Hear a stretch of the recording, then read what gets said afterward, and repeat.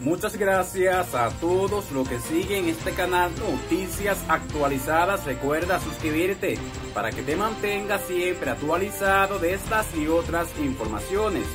La Junta Central Electoral informó este domingo que comenzó un operativo móvil de cedulación para los dominicanos residentes en Islas Guadalupe, Martinica y Guyana Francesa. La jornada comenzó este domingo y se realizará hasta el lunes 9 de este mes se hará en la sede del Consulado Dominicano en Martinica. La Junta comunicó sobre el operativo en un aviso público colgado en sus redes sociales.